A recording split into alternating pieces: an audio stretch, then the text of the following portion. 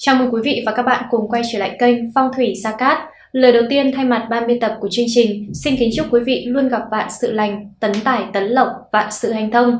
Quý vị thân mến, từ đầu tháng 10 đến nay, đây là những con giáp long đong, lận đận, làm việc gì cũng khó thành, nên vì thế mà khổ tâm nhiều. Tuổi trẻ thường phải đi xa lập nghiệp, tự thân vận động, không được nhờ gia đình.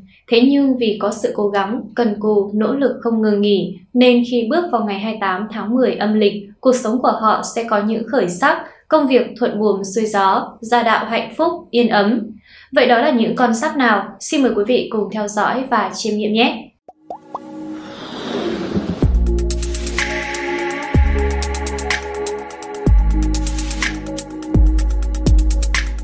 một Tuổi ngọ Chính ấn chiếu vận có lợi cho chức vụ, quyền lợi của tuổi ngọ trong công việc hôm nay.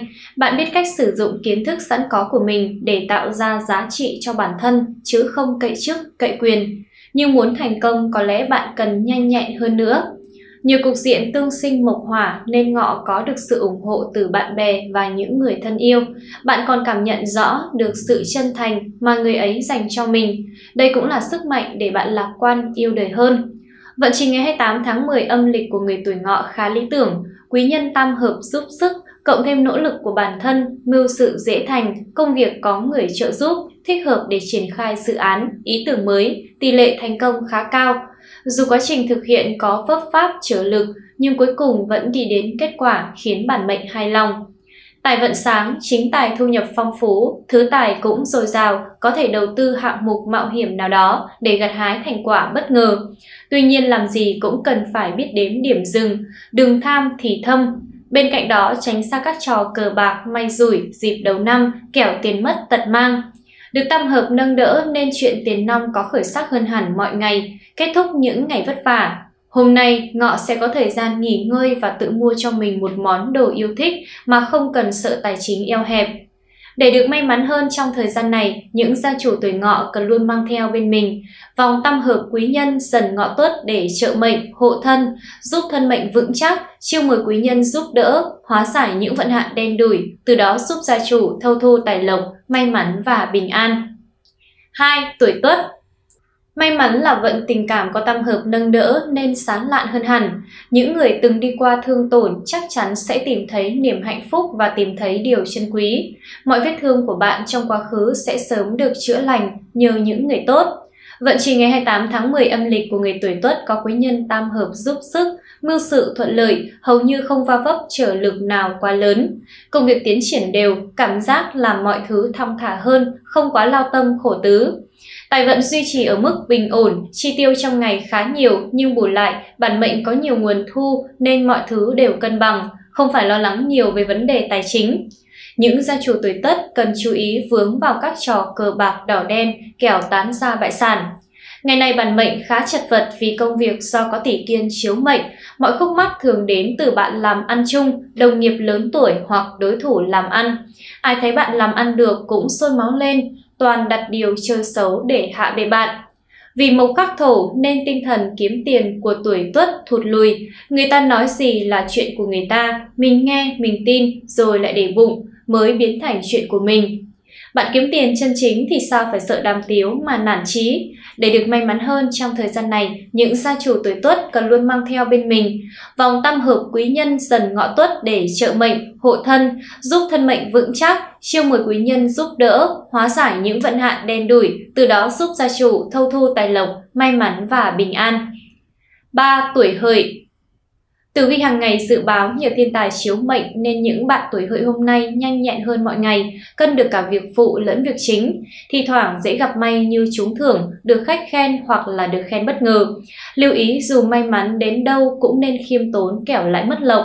Nay bản mệnh hợp tác làm ăn có lợi, nhân duyên hài hòa, tình cảm tốt đẹp là nhờ vào lục hợp.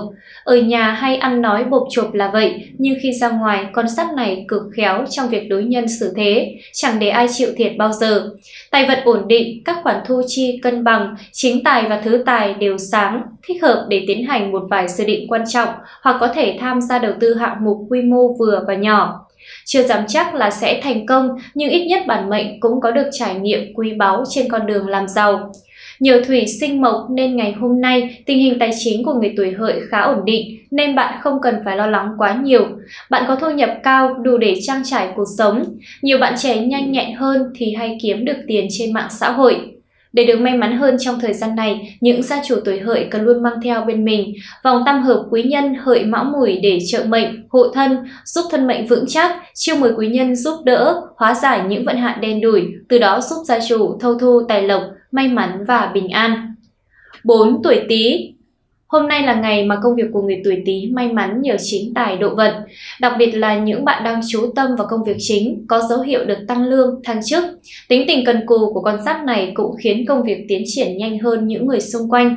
Phương diện tài lộc ở mức trung bình, chi tiêu khá nhiều, có hiện tượng lộ tài, phá tài, thận trọng khi vay mượn tiền bạc hoặc là cho người khác mượn tiền.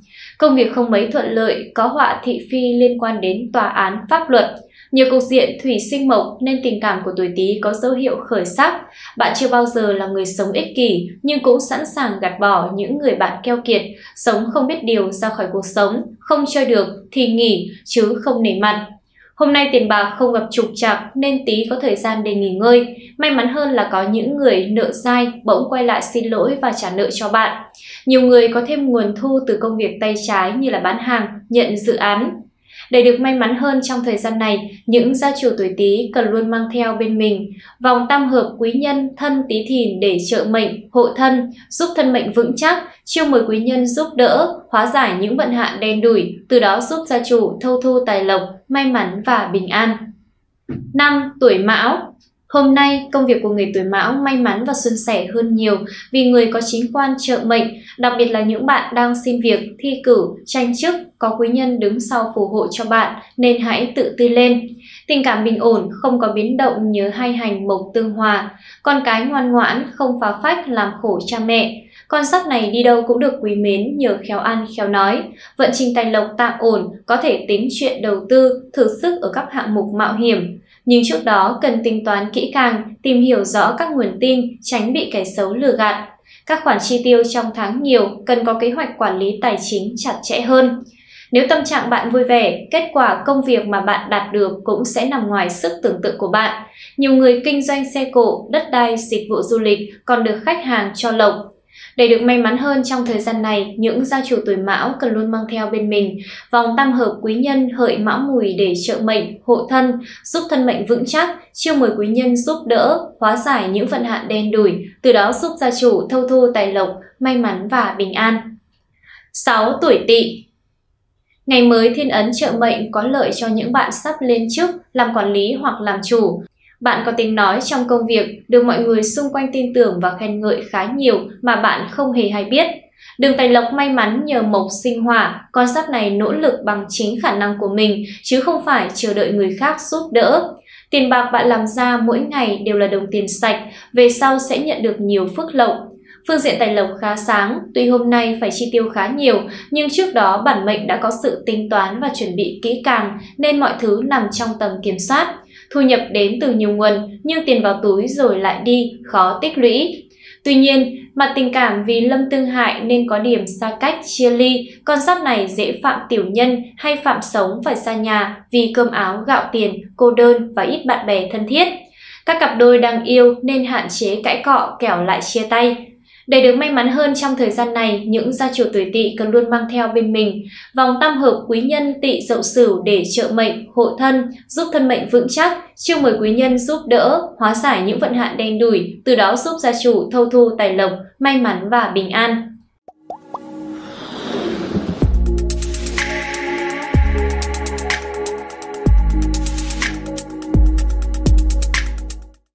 Quý vị thân mến, như vậy chúng ta vừa tìm ra 6 con giáp may mắn nhất trong ngày 28 tháng 10 âm lịch.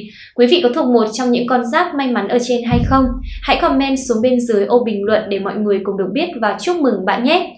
Cảm ơn quý vị đã quan tâm theo dõi. Mọi thắc mắc hay đóng góp của các bạn hãy comment bên dưới ô bình luận hoặc gọi điện trực tiếp đến số 0989 34 9119 để được tư vấn trực tiếp.